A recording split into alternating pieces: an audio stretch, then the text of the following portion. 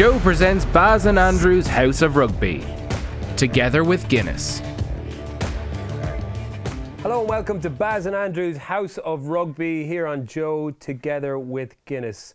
Welcome to episode three. Uh, Andrew, how are you doing? I'm great. I'm great, Barry. Cool, cool. Good did to you have have, you back. Did, did you have a pleasant weekend?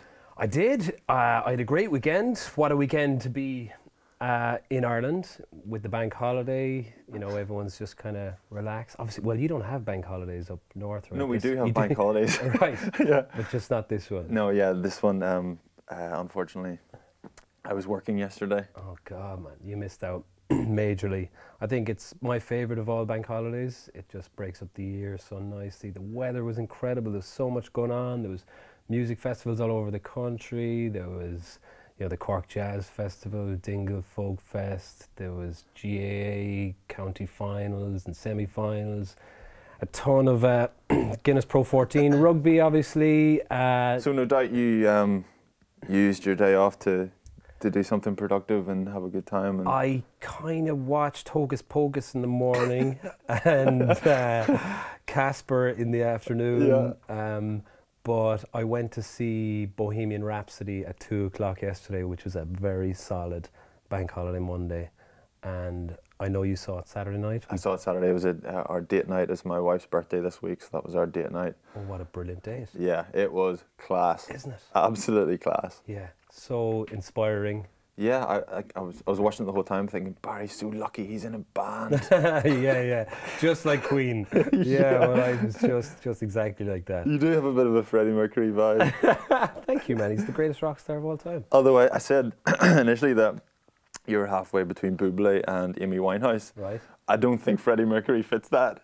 Is he not? Surely he's even beyond Winehouse. Yeah, true. he's certainly up there with Winehouse anyway. Yeah, he's pretty. He was pretty out there. Yeah. Um, yeah, I think it was a obviously a very sad story, but so inspiring and uh, funny. And what I loved about it was you get to see the birth of all those incredible songs that we've all grown up with. Those anthems. They're like anthems to the Yeah. gods. Yeah.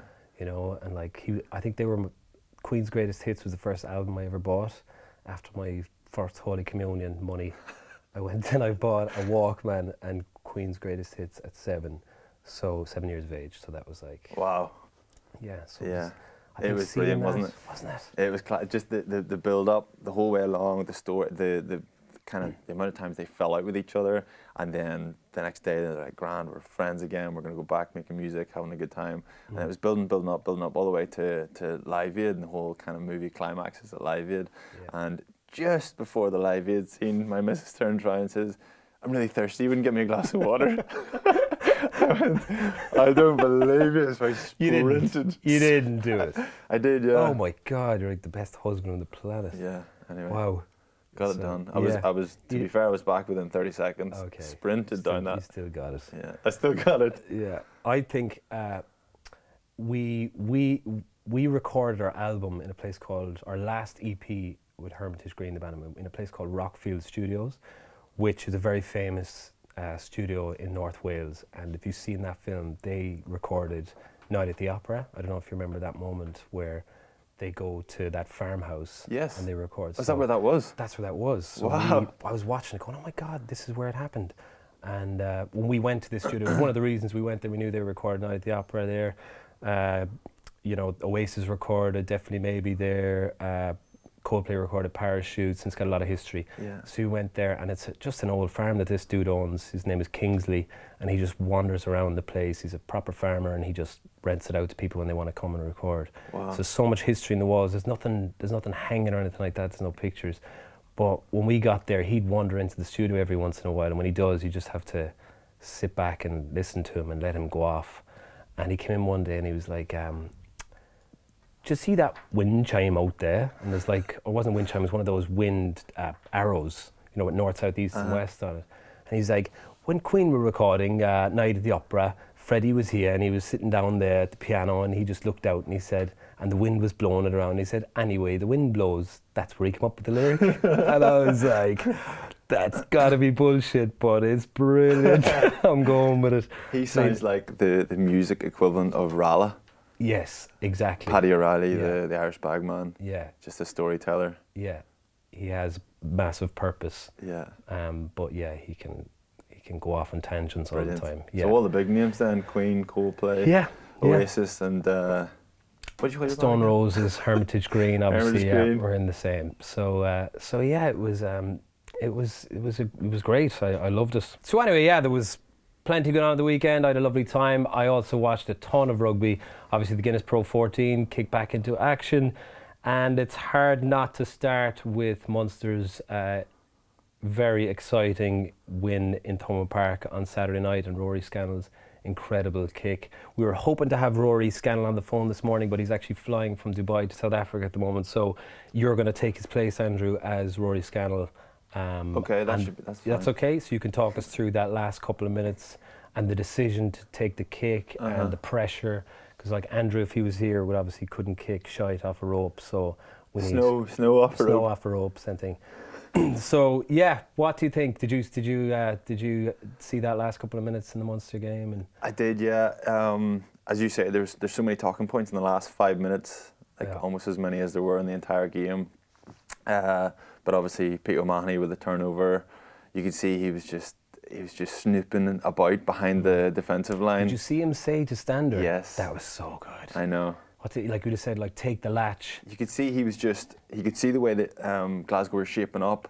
Yeah, take the latch, whatever the call was, and You who take was out it? the latch, I'll get on the ball. Yeah, who Yeah. it was someone on the inside as well. It might have been Jean Kleyn or could it be Billy Holland? Anyway, Billy Holland, I think. Billy Yeah, Holland, yeah. yeah. And he kind of he, he was kind of blocking off on the inside. Stander was blocking off on the outside. Totally illegal. yeah, yeah, yeah, yeah. but it worked an absolute treat. Yeah. And for me, Pete was off his feet as well. He was. His studs were in the air. Yeah, the ref was just on the other side of the rock. Yes, you can see, it. yeah. But I think that last five minutes and even the last ten minutes, like, I, it was so interesting to see Glasgow's tactics. Fair play to them. They stuck at it. They didn't kick the ball much in the game. Yeah.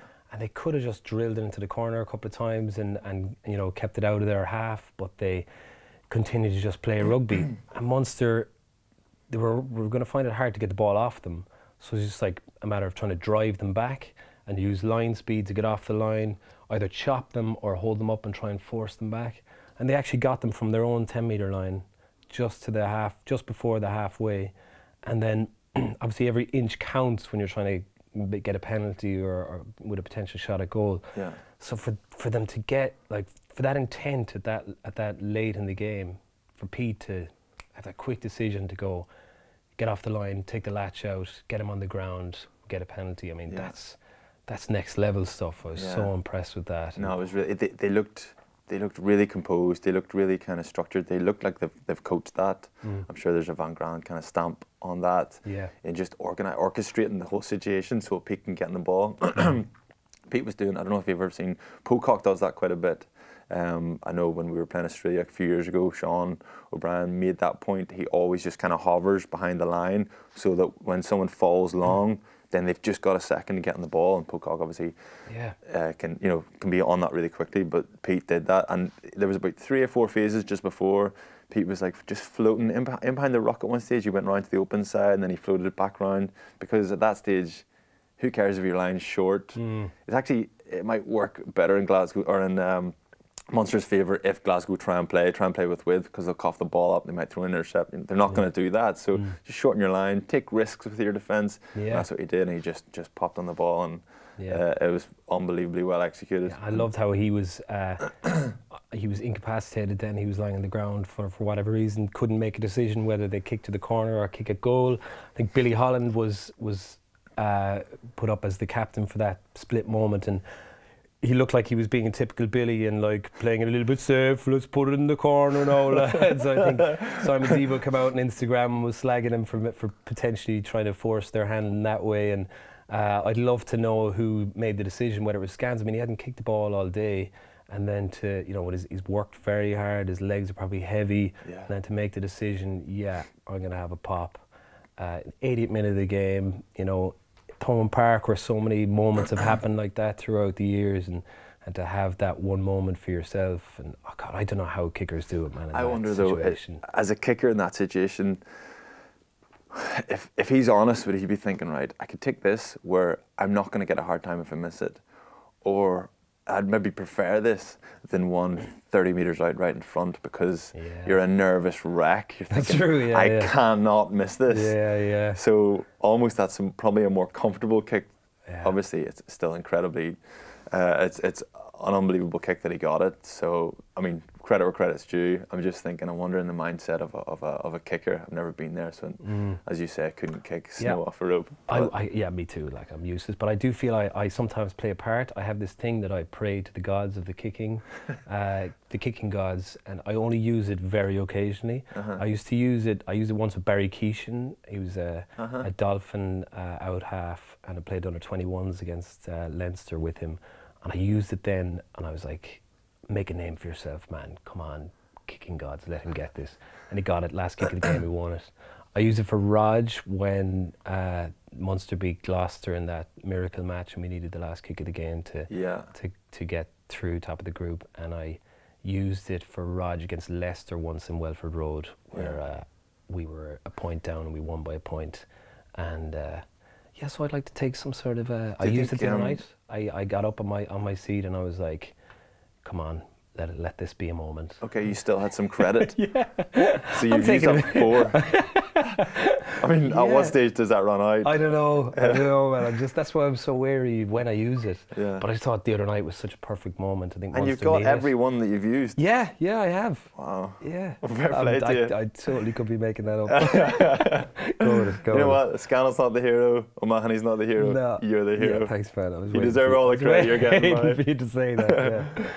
Uh, so yeah, other than that, it was a pretty fascinating game. I enjoyed the tactics, tactics of both sides. I think uh, Munster would have gone out looking to enforce their set piece, and uh, Glasgow didn't allow them to do that. I think didn't kick the ball at all. I think Munster had six lineouts in the whole game, which would have taken massively from, you know, their tactics and their platform.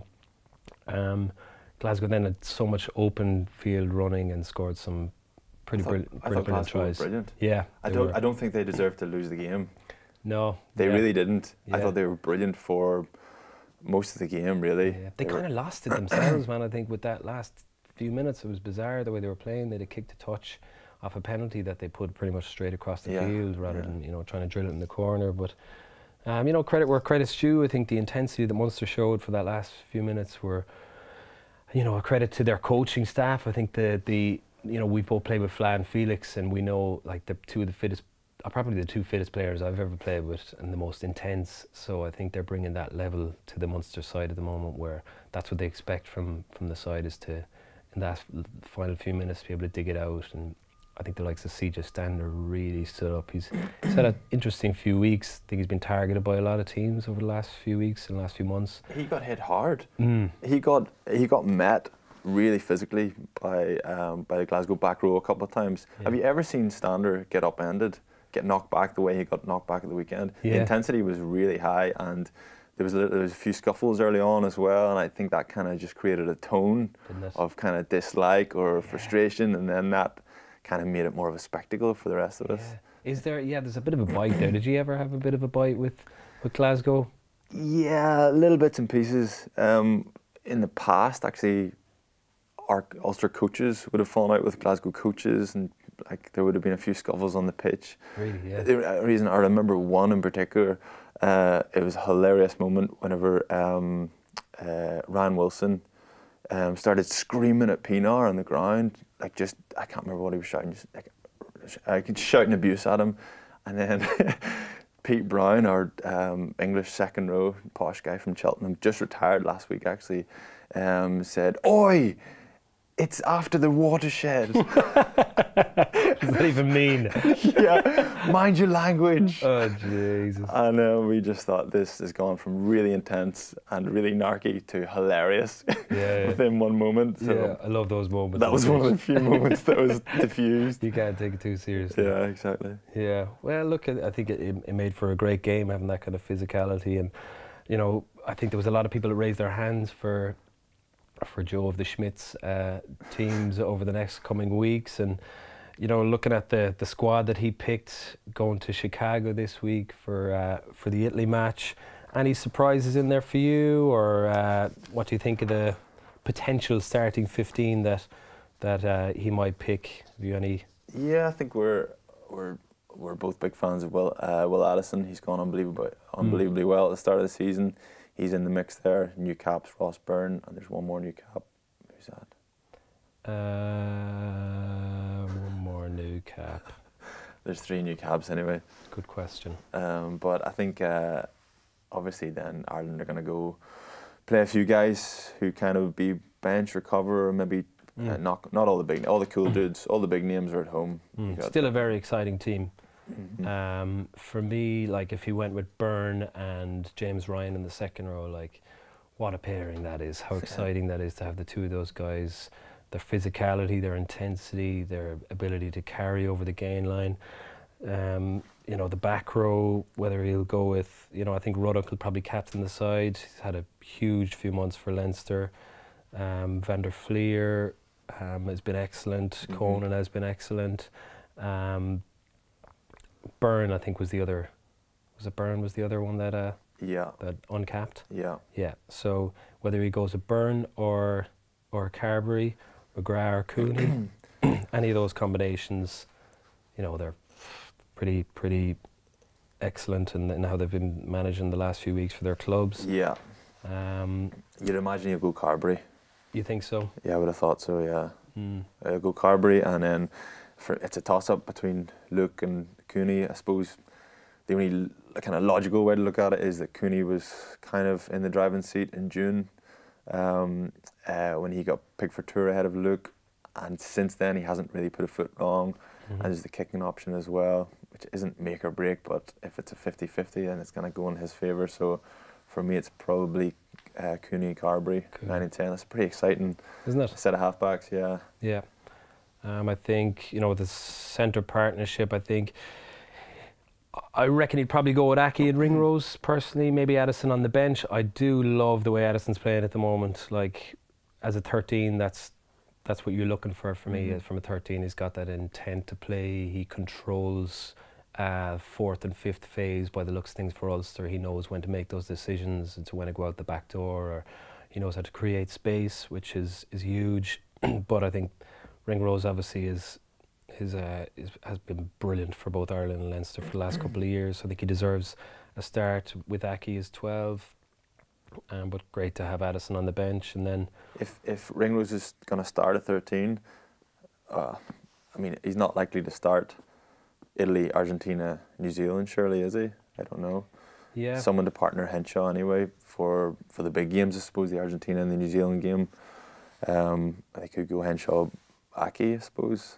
Um, or as you say, well, Addison might get his um, Yeah. foot in the door there, depending if he gets an opportunity in, in Chicago. Um, Yeah, I think there's plenty going on, isn't there? The- Like Isn't a there? few years ago, you're going. The, the, I mean, the the lesson that they learned at the World Cup was you cannot afford to get three or four injuries in key positions, that's it. and now well, they can. Yeah, They can do what they want, and yeah. there's guys coming in putting their hands up, and there's serious, serious talent and serious depth in all positions now, and it's a it's a luxury that Joe's got, and it makes things a lot more difficult for players fighting for positions, doesn't it? It does. Even like the likes of Stockdale and Larmour and Conway coming in here. Like, I mean, what an exciting back three if that's what he goes with. Um, Sean Cronin, if he starts, I mean, you know, he's you know, he, himself and Scannell, to be fair, have been have been brilliant. So to have that luxury to leave those guys on the at home for the next for this week is is brilliant and very exciting times for Irish rugby and, and looking forward to the, to the New Zealand game in a few weeks. There's going to be a lot of headaches for sure. Um, the Italy team, have you had a look at that? Yeah, it's a young team. It's a fairly inexperienced team, captained by um, Campagnaro, Mm-hmm. which I didn't realise. Kind of he, I don't know if he's ever been captain before. I didn't realise he was that kind of role. He's obviously one of the most experienced guys in that team, but um, obviously, uh, yeah, they'll be coming over looking to play a bit of rugby.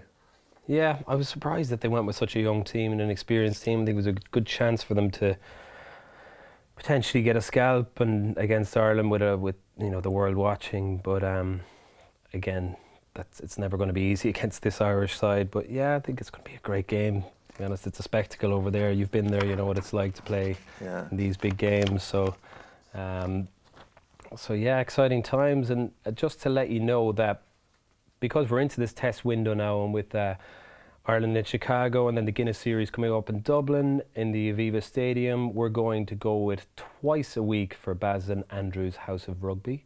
So it's twice the crack, twice the content. A new episode will drop on Thursday featuring our Ireland versus Italy predictions. Uh, we'll answer any Twitter questions you have, and also we've got an exclusive interview with Conor Murray. And when I say exclusive, I mean completely inexclusive because he spoke to everyone last week. But uh, I reckon I, I asked him a few questions that no one else would ask. Um, so here's a little taster of that Conor Murray interview right now. They're a better team than us. Like, Yeah. and it's rare you feel like that.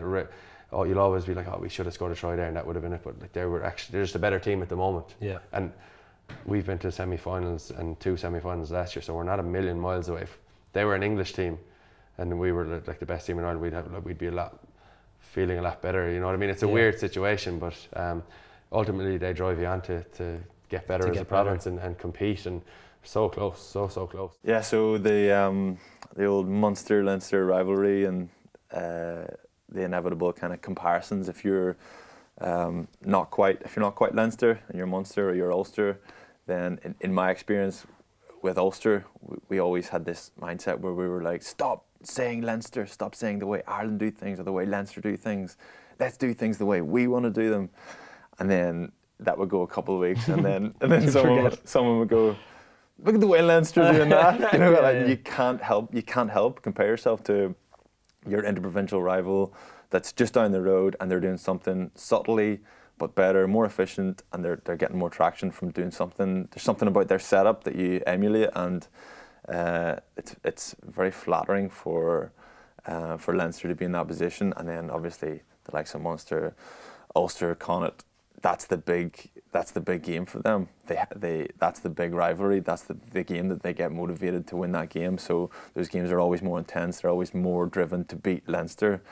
Um, and again, that's just a that's a compliment to Leinster the way they're doing stuff. So Yeah, I agree. I think it's a, I think it's a good thing. It's a healthy thing, and as you hear from Conor there, like they're, they're you know that that inspires them or, or drives them on to, to become better and better. So yeah, so tune in for Yeah. um, the the second um, Yeah, edition of, of Barry and that's Andrew. it. Don't forget to subscribe, Baz and Andrew's House of Rugby, and listen to our chat with Conor Murray on Thursday, uh, or check it out on YouTube. Is the is the English House of Rugby have they got um, two episodes a week?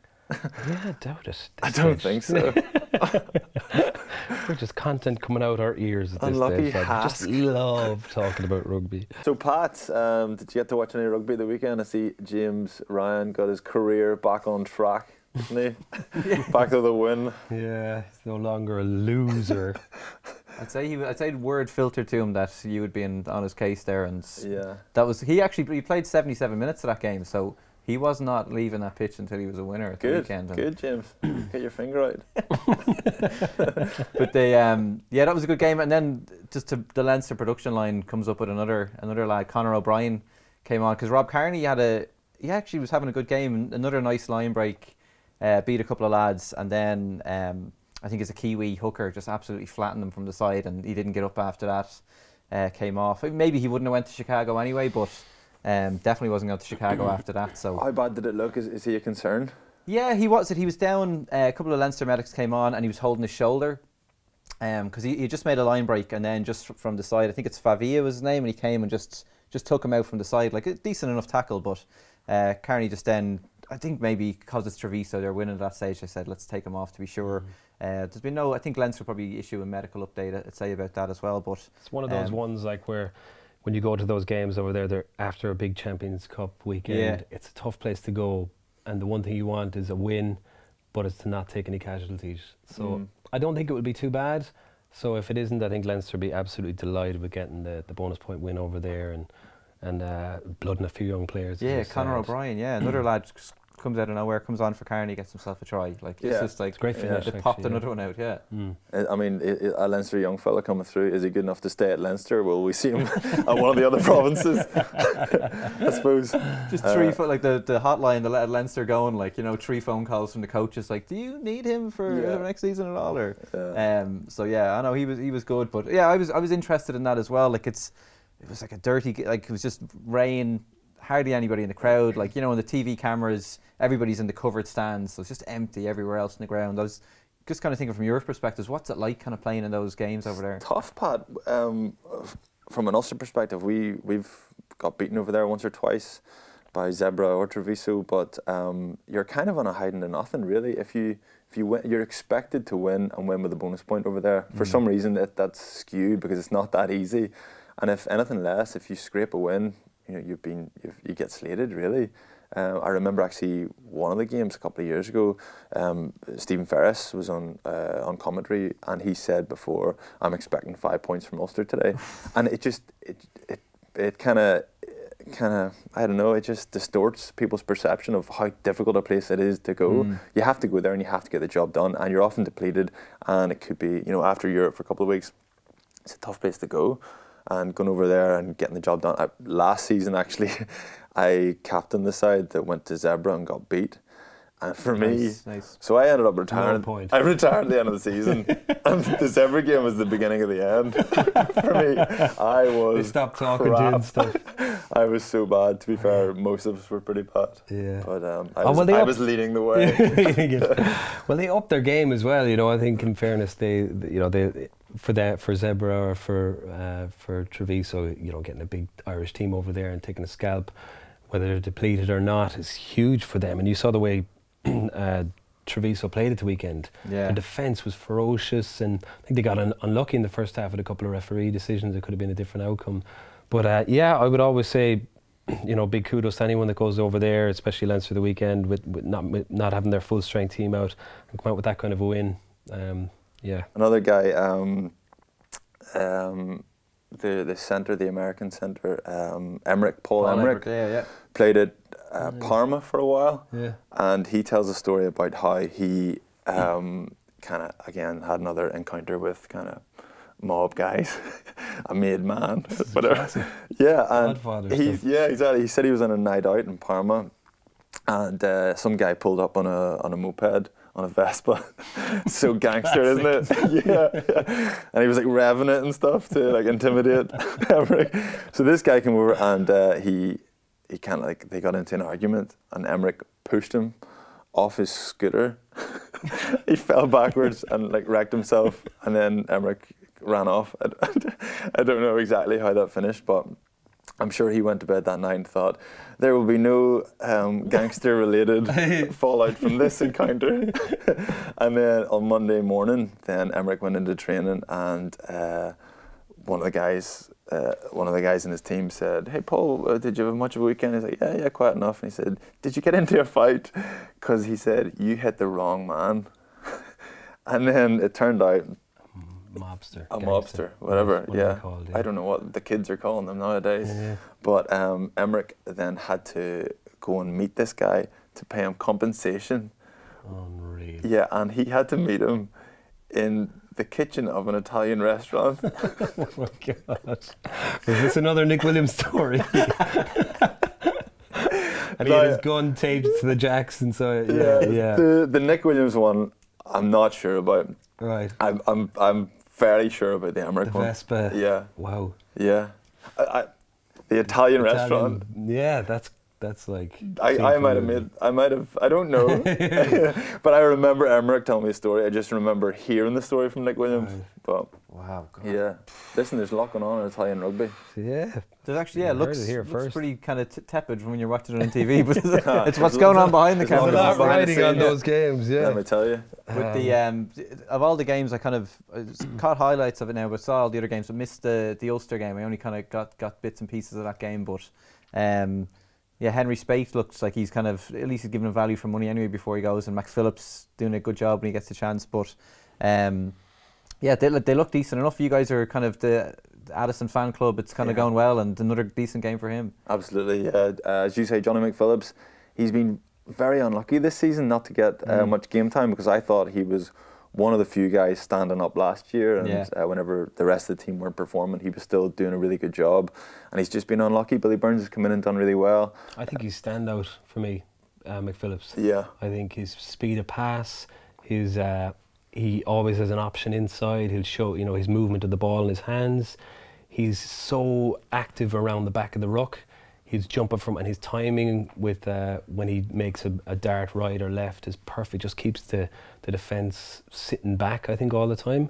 Um, and his speed of pass, like zipping those backdoor passes to Addison or to Lowry, Yeah. um, and he's always taking different options as well. I, I Yeah. think he's absolute ball to He look he, he probably he's he's in a luxurious position where he's got you're in McCloskey, he's got Addison Mm. outside him, he's got now he's got Lowry. yeah, Obviously Mikey picked up an injury there, so yeah, real shame because he was just starting to get yeah. into his stride and get a bit of a Great feel try for, for again, another 15. brilliant step. Like Yeah. what speed he has, and Yeah, um, Addison had a great break for uh, for Shanahan's try. yeah, Um, timing of offload as well there. I think like he throwing dummies. Yeah. You know what? There's not enough dummies in this game. in my. Just he just kept throwing them, and people just dropping left, right, and centre, and then eventually he just offloads this handy little little one-hand pass. But I was very impressed with Ulster again. Again, their intent to play. Really enjoy watching them. Um, and it a you big you were um, you had a bit of an issue with um, uh, some commentary at the weekend. Mark Ronson, Robson's uh, Ronson, huge Mark Ronson fan. Mark Robson's uh, chat is is always pretty funny, but um, funny in kind of like a cringy uncle kind of way. But uh, yeah, he did a lot of Halloween kind of related comments at the weekend, like Michael Lowry's full of tricks and treats, and he's away. I think he said someone's away on his broomstick there at one point, uh, which just cracks me up. a yeah. week out from Halloween as well. Like, you Yeah, like it's yeah, not like it's on Halloween night. It's just like, feck it, I'm gonna say it anyway. Yeah. I've, I've, I've prepared these jokes. I'm yeah, gonna, I'm gonna, I've done all this homework. Yeah. he got in bother there recently whenever I was in co-coms. Uh, it was the Connacht game at uh, Kingspan, and uh, he was talking about how Connacht hadn't beat uh, Ulster in Belfast since 1960. yeah. He said 1960, um, Gary Lineker was born, uh, Maradona, um, Kenneth Branagh, and then he said Jeffrey Dahmer and Richie Ramirez. and then he said, um, Richie Ramirez. The Night another- Stalker, is that him? He was a serial. Oh, he's another Yeah. serial killer. Yeah. Wow. so, and then he said, uh, 1960 was a great year for serial killers. During the match. During the game, yeah, we Oh were like, "This God. is brilliant. This is cl- it's class. That's Yeah. brilliant. Great stuff." Yeah. And we kind of thought, I don't know how to answer that, but I'm enjoying it. Yeah, okay, I don't know how to follow up. But uh, then a couple of minutes later, we just heard over the over the earphone, um, uh, Robbo, you're gonna have to apologise for that. so he had to say sorry, as if like, there's some serial killer Ulster supporters sitting at home going. How dare he speak about us like that? We have feelings too. but yeah, he got in bother. He was he was reeling about that one. Oh, re- yeah, I'd say he doesn't care what he says now at this stage. He's been at it so long. He's a big fan of yours, Robbo. Is he? Yeah. Go away. Yeah, he said you were the Garry Ringrose of your generation. Oh, I'll take that. High You know, praise. I'm a High massive, praise because massive Ringrose fan. yeah, so. and Garry Ringrose is the Brian O'Driscoll of his generation. So mean? I'll take it, whatever it means. Uh, well, tell him I'm a massive fan as well. yeah, Yeah. I'll put you in touch and you can. Dude, we should get him on the show. Absolutely, he'd be great to be on the show. Perfect. Perfect. Anything else, Pat? yeah, the like I was watching the the Connacht game there as well, and um, we got Sportsfile to send us in um, books. You know, like they have a they have a book out for, for Christmas, like great rugby moments, and uh, so we'd kind of run a competition on the House of Rugby side, and I was watching the Connacht game back, and they were dreadful for 65 minutes, but I knew there was going to be a couple of tries scored, and then we had someone buzz at the offices, and I had to drop down the book to him. Uh, guy Daryl, he, he was one of our followers of, of House of Rugby, came back and Connacht had scored those two tries that I knew were coming. You know, like, but I'd Yeah. missed them, so I'd missed the only good part of the game, and then for the next ten minutes, they were they were bad again. Like, but uh, I just thought, yeah, it was a real tight ground, Bridgend. The grass was a little bit longer. Ospreys had a great kicking tactic. Like, kept kicking the ball in behind them, kept kicking for Adeolokun, knee Adi Alokan. Every time they got the ball, spotted him, kicked it to him. And there was one moment I thought was very funny where uh, Adeolokun just took a high ball. He, he shelled a couple, but he took a high ball, and then you just saw two boys coming at him and just tried to call a late mark like that. And the ref was like, "No, it's too late," and he got pounded all in the space of a couple of seconds. Like, but uh, Oh, the mark can be confusing, can't it? it's like, uh, yeah, when can you do, when can you call it? How much time do you have to call it? Like, so I was kind of wondering, did, that kind of stuff ever happen to you boys? Uh, you know, just seeing someone coming in your direction and trying to call a mark at the last second. I hated having to call marks because yeah, there was a there was a time there when it was you didn't know whether you could get off the ground or what. And Mm. I Did actually you play in those days? Did you? yeah Did you play when you had to make a mark? on the pitch. You did, no. Another Nick Williams story. Those were the days. I, I remember one against, we played against uh, Sale in Thomond Park. I think it was around 2008 or 2009. And we were giving them a bit of a baiting. And Sébastien Chabal was playing for them at the time. And he was back in their 22 when we put a, a big, high, long kick, a bit too long, and it went to him. We had a good line chasing up. And I presumed that he would call a mark or there was that little split second where he didn't know what he was going to do.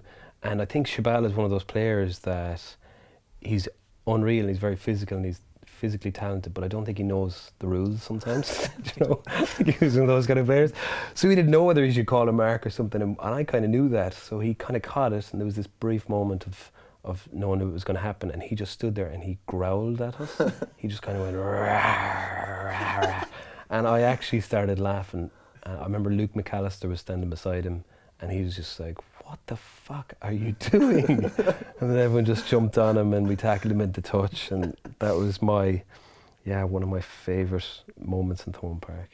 I'll have to go back and see if I can find this clip. Yeah, yeah. Just like a like a bear. Rawr. You're like, I don't think that's allowed. I'm gonna tackle you anyway here. Like, um, yeah, it got pounded. Like, and but yeah, like, because yeah, you surely you'd have that thing where you're targeted every now and then, or the ball keeps coming your way, or, but uh, yeah, it, it is a big tactic for teams, isn't it? Just putting it high up. Let's test Trimble out here. Or have you guys ever had that before? you mean Trump specifically me? Yeah. Let's test Trimble. Always I everyone's- remember actually playing the Ospreys, uh, and I had. So Tommy had just left and was playing for the Ospreys. Tommy knew me very well at the time, obviously, and I had just moved from centre to the wing, so there was a few kind of nuances. Even just high ball reception was I was just kind of getting getting to Mm. grips with it, and it was coming into the game more, whereas before kind of no one really did that for some yeah, for some reason. Kick tennis for a while. Yeah, Yeah. and uh, I remember one game of a restart. Um, James Hook was about to kick kick um, kick off, and he looked at Tommy, and he obviously he obviously Tommy had obviously said to him, "Trimble can't catch." Yeah, and but then Hook obviously he wasn't sure which one was Trimble, All right. so he looks at Tommy and he goes. Is that For those there? listening, there was a nod there. Yeah. That. And I, I looked at it, I thought, I know what's going on there. Tommy has screwed me over. he denies it to this day, but I know, I know what's going on. to be fair to him, he wasn't wrong, was he? Believe it or not, I caught that one. Yes. Of course he did. the um, the other game I, we were we kind of chatted a little bit over the weekend was the the All Blacks game against um, dropping them in Japan to play the third Bledisloe game against Australia, but you know they're only a couple of weeks away from coming here, but um, just looked so impressive again, scoring tries in the last five minutes of the first half as well, and um, just loved the shithouse tactics from the All Blacks as well, like the dirty tactics and taking guys out off the ball as well, and. Um, yeah, the one I liked was uh, the scrum, where they all started to go one way, shape back in the other direction. And uh, Liam Squire just came around the back of the scrum and just took Jack Dempsey out and was just like, you ain't taking part in this play. like And Yeah. and then, they, well, they still needed Rieko Ioane to make a break, and he did so. And and I think he got Barrett away for one of his tries. But just love that type of stuff from the All Blacks. Like, you know, Ireland are going to be getting, you know, their faces rubbed in it there in a couple of weeks now. Like, so um, as great as they are, it's I actually love that they can do the dirty stuff as well. Yeah, I, I actually have to agree with you completely. Like when people lose their minds on Twitter, which they did over the weekend because of that moment, and I think the Aaron Smith moment where he took a, a block, he just ran straight across half the, the Aussie backline Mm. as they were trying to, to scramble back to, to catch Ben Smith, and he blatantly changed his line of running and uh, blocked them off, and then you'd the yellow card for the for the Aussies hooker that came on, which you know he was in, in, in antagonized as well to, to Yeah. do that, and it was like, well, at the same time, there it's like of a book. They just know when to do it, when to turn the screw, and um, you know, fair play to the Aussies. I thought they came out and you got to play against New Zealand, and they Mm. went at them like they really. They, you know, and it shows Ireland, as you said, they're playing them in a couple of weeks. What kind of way Ireland have to go about it, and it is, um, you got to go out and play end-to-end rugby. Got to have a go at them. Mm. I think Australia probably lost it in the green zone. They're a bit too panicky. Uh, Foley tended to kind of throw wild passes. If I was to take anything from that, from Ireland's pers- perspective, it would be once they get into that green zone, is they got to take control and cool the jets to a certain extent, not throw those wild passes, allow the likes of Sexton and uh, whoever's playing at nine and maybe another back to make those big decisions Yeah. Um, after fourth or fifth phase or sixth phase in, the, in the green zone. But, But uh, that's where that's where Ireland thrive though. When they get in the green zone, yeah, they come away with points more often than not.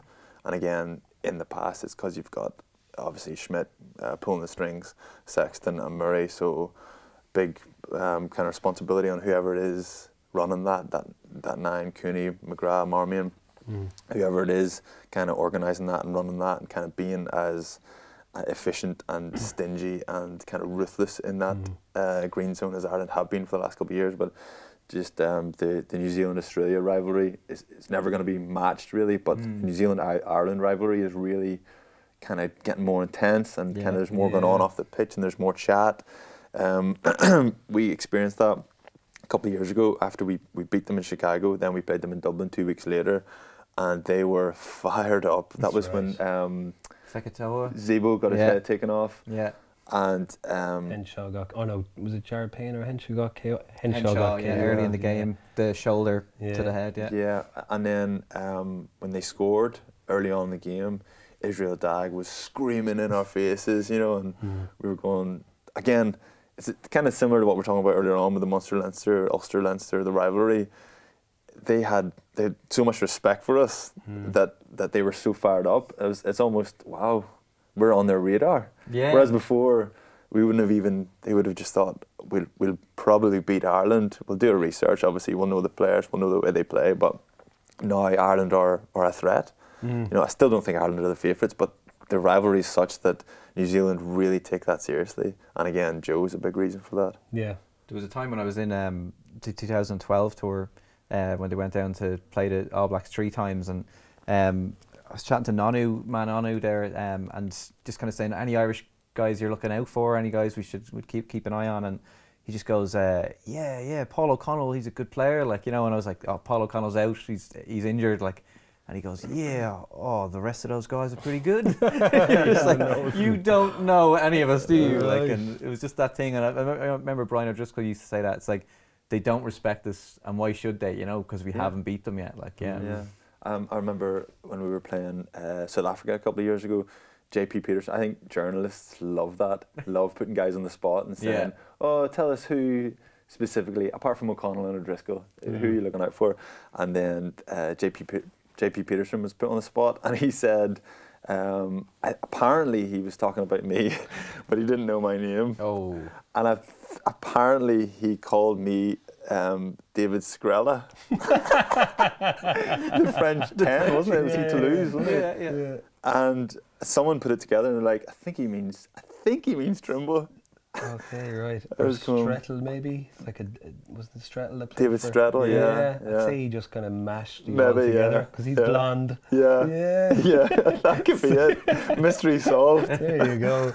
That's, uh, that's that's South African arrogance there, isn't it? Like just to kind of uh, who are they as well? But the the other one I was kind of getting was the um, when I was listening back to the House of Rugby English version. Yeah. Um, last week was uh, Haskell was talk. James Haskell was on, and he had a, a bee in his bonnet about English arrogance and this perceived thing where um, everybody thinks that the English are these kind of guys that kind of look down their nose on everybody, and they're the bad guys. And um, yeah, I think it's a, we we have a clip of it here. I think it'd be an interesting one to have you guys have a listen to it and talk about.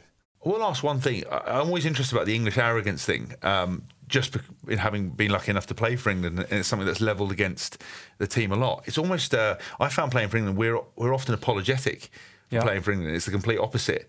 Uh, I'm, you know, we're often on the receiving end of quite a lot of what I would class as arrogance because I mean you know why everyone hates England because of you know 500 years of empire building um, and and nobody likes England and that's that's something you come to terms with as a as a player and everyone wants to beat you Yeah. there's nothing better than beating England and everyone says oh arrogant English but actually you know I've seen things and little bits and pieces against teams I played for where I'm thinking if I did that or I conducted myself in that way it would be um, you know it would be a nightmare that would be kind of in the newspaper kind of stuff Give us an example.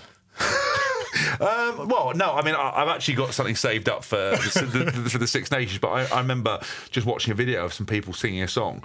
Uh, of essentially assaulting England, and I was thinking if we did that, that would be just terrible. Um, and I just think that it's, it's interesting. Everyone does talk about this English arrogance, where I find as an England player, uh, we just we do everything not to show that, and I think it would help the team sometimes. I think it would be quite good Isn't to that have what that. Eddie came in and instilled though? Was a bit of get your jaw jutting again and Yes, he did. He did in terms of having that confidence on what we should be doing. But if you always watch, um, you know, I think in my first uh, time with him, until we won the Grand Slam, Yeah. was the only time we celebrated after a game. The only time, if you watch back all the footage, of everything, literally posing for the photo at the end of a thing with whatever it might be, Calcutta Cup and whatever, no smiles, business on, no celebrating, no whooping, no in your face, no nothing. And that that was the same. Even in Australia, same thing. Finished the game, business. Even the Six Nations, business, business, business. Until we actually got. Um, some silverware and the job was done. Yeah. So I think it's interesting with the English arrogance. I think, um, you know, I remember I, I saw an article once uh, and I stupidly looked at the comments on it. It was an article about myself. Obviously, arrogance and arrog- uh, ego got a bit the better of me, and I decided to look at it because it. And it, it said at the bottom in the comments section. In your daily Haskell Google. In the day Haskell Google, yeah, when my the alerts go up, and it said in the article it was about myself and English rugby, and in the bottom the comments section, which you should never go and, and why- ever. why would you ever do that? Because I realise that's where people souls go to die. Like people who log on to, to newspaper articles and set up a profile and comment, they are the worst of the worst of the worst. There's a, there's a space in hell reserved for them. And this person said, you can sum up the problem with English sport, right? Not just rugby, but English sport and English rugby in two words. James Haskell. And I was like, so did you, essentially. did you up like it? Is sort of get it I did. I was higher- like, trying to get higher? up because it was a name mention. But I thought I was actually blown away by that. I thought I am responsible for why everybody hates England. Yeah, so um, you could just hear James going on. Uh, interesting to know he's creeping around uh, online comment sections as well. Yeah, yeah. But um, yeah, this whole thing of like that. Uh, the English are the bad guys, and they're always a team to beat as well. Like, uh, is it still that way? Because I was looking back at Haskell's record, and like he's played Ireland nine times, won four, lost five. Like, so it's not this kind of thing that they're the dominant team anymore. But are England still the team like that you want to beat when you you know you're going into a Test match? Yeah, I think England are. I don't. I wouldn't buy too much into um, the whole tradition and the, the old enemy, and I wouldn't get too carried away with that. When you get on the pitch, they're just they're just normal fellas. They've just got this reputation, and I suppose maybe as he says, summed up in Haskell. I don't know why. Um, he actually Joe seemed to be doing wonders for his brand. He, he's, he's doing really well on the podcast. He's obviously He plays up to it as well. I think that's Yeah. it's banterful more than anything. I think that that rivalry, and I think the fans play up to it, players play up to it, and uh, you know it's like it, as he said, it does go back a long time with that empire building attitude. The Irish relationship with England is quite. I think Tommy Tiernan summed it up before for me when he was like. Uh, we like to see the English lose at things like sport and war. I was like, That's perfect. you know, where it's yeah, it's it's never going to stop. I don't think, but it is kind of a. I think yeah, it's it's almost like they don't get the same history lessons. Like you know, why would they in their history lessons go on about yeah, and we screwed over this country here now? They're just going to do their own thing. But our history lessons are all about well, we got these boys came over and you know kicked the crap out of us here and did this here. Like so, I remember talking to um, yeah, just like a, a girl before about you know why didn't we support England if they support us? And you're like because X, Y, and Z. And she's like, oh, I, d- I didn't know that as well. But like, is there?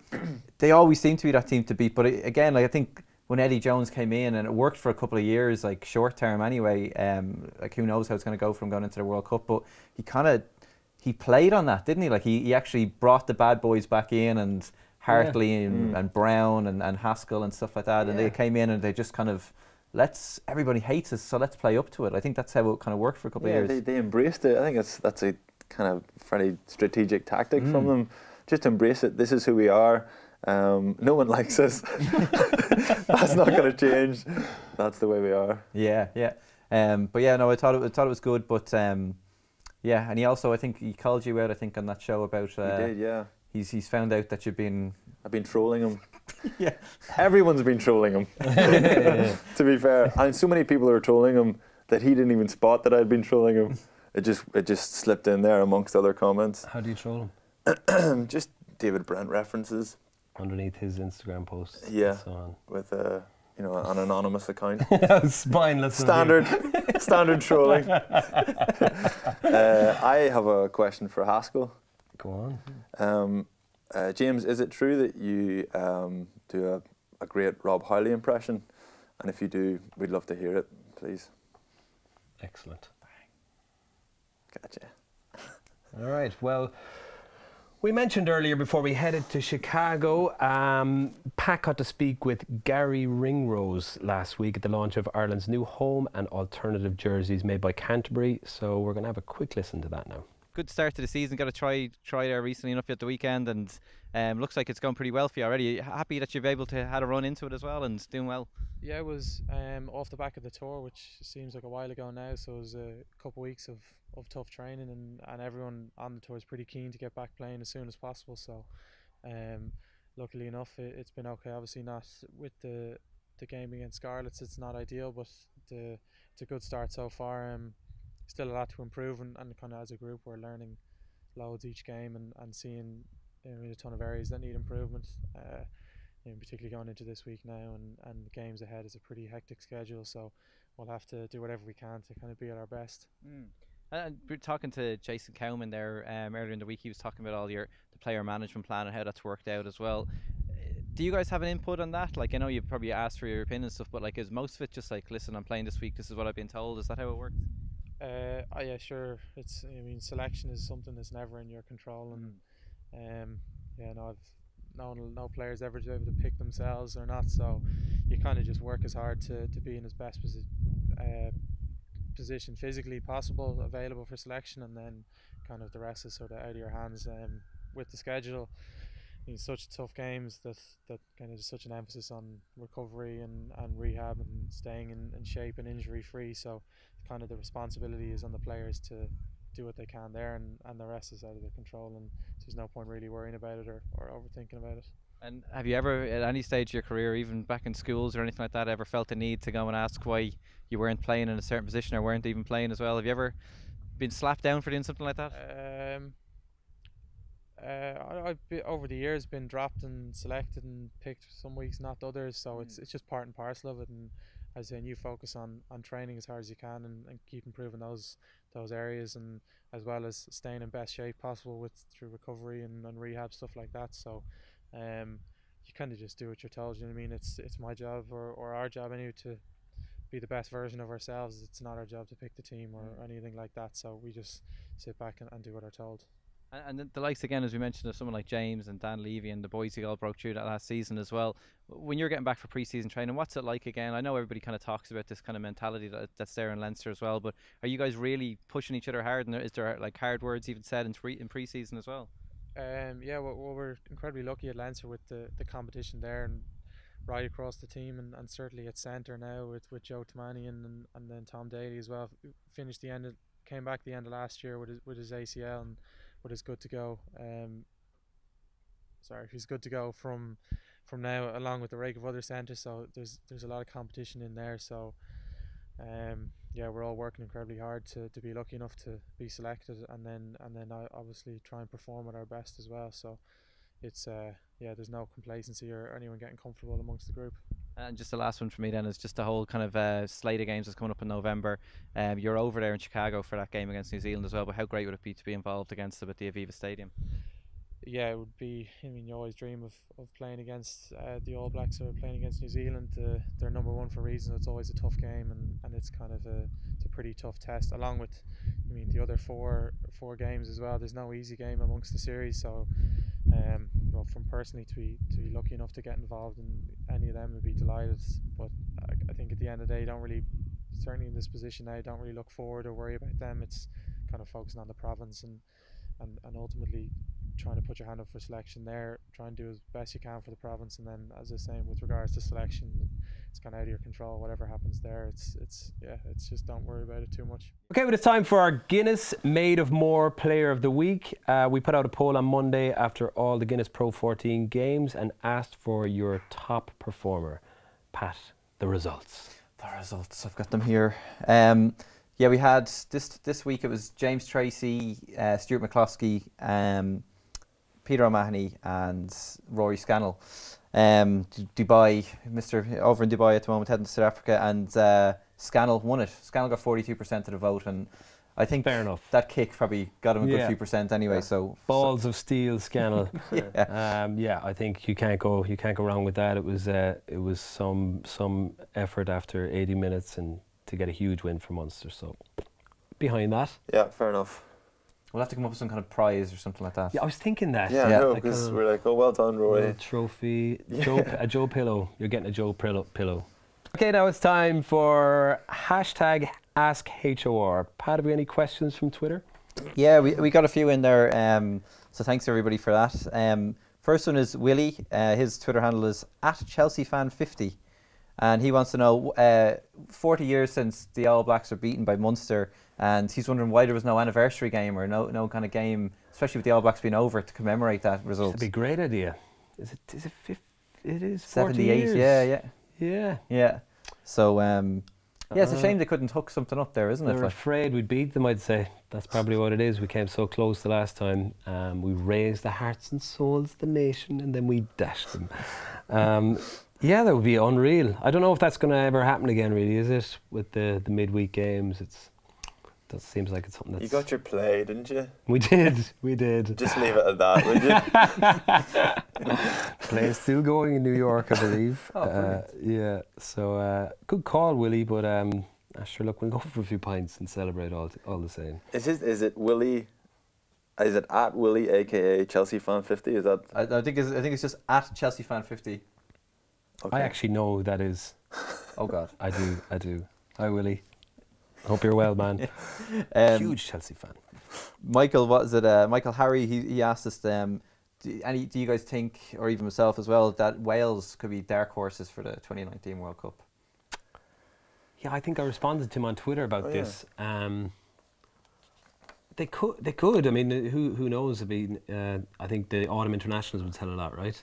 Uh, they've got Australia, Scotland, um, which would be two big tests. of Australia and they are in their World Cup group, so I think if they can beat them, they can get out of that group. So it'll be interesting to see. I haven't seen a huge amount of them, obviously, since uh, since the Six Nations last year, which they were pretty pretty strong and they were very close to winning it. So, yeah, what do you think? Well, traditionally they struggle in, in the autumn, and then between the autumn and Six Nations, then they improve Mm-hmm. massively. So if that happens, then they'll be peaking at the right time. But yeah, obviously, you know, a side like Wales, there's enough strength there to do a bit of damage. Mm-hmm.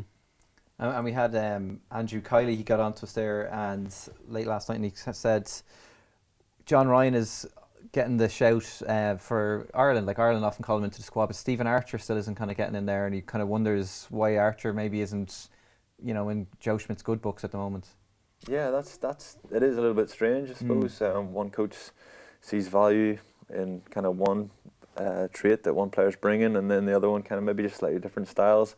Honestly, I'm not sure we're qualified to, to comment on, on front rowers or tight heads. notion, yeah. All I could think of was just maybe a couple of ah, like I say, Ryan probably comes in and does a job for Joe. You know that kind of thing. If you trust guys, like I was thinking was a couple of disciplinary things li- recently for Archer, like where he kind of given away penalties or got yellow carded there in the Champions Cup. But but I think Joe always would have went with, with Ryan anyway. Ryan probably trusts him a little bit more. So um, that's that's my take on it anyway. But the the final one we had actually was from Fiona Steed. And she's asked us, will there be any more John Hayes stories? Uh, yeah, we should actually have a weekly thing with John Hayes. Imagine getting John Hayes in the couch. That's what we should do. Wow. Yeah, I love I love the fact that he's got his wife to stand up for him Yeah. on Twitter. yeah, for anyone that doesn't realise, that's, that's John Hayes' wife, Fiona, who uh, is always fighting battles for really, to be honest with you. yeah, no, that's brilliant. Um, keep keep him coming, Fiona. yeah, yeah, we could do it a few more dirty stories on, on Hazy, but yeah, let's, let's get him in here to talk, to defend himself without his wife. hmm I'll give up. I actually don't think there'd be room for me on this couch if you yeah. came and sat here. Um, but yeah, that's it. So, so thanks everybody for that, and um, yeah, keep them coming. Keep them coming next week as well. November games, so I'm sure we'll be flooded with questions now about selections and who should start and stuff like that as well. So it should be good. Yep. Okay, right. Thank you, everybody, for your comments, uh, for your questions, for listening, and for uh, watching on YouTube. Thank you to everyone uh, who is responsible for putting this show together. Big thanks there. Thank you to Pat for coming on and for putting all this together. This has been Baz and Andrew's House of Rugby on Joe, together with Guinness, and we'll see you on Thursday.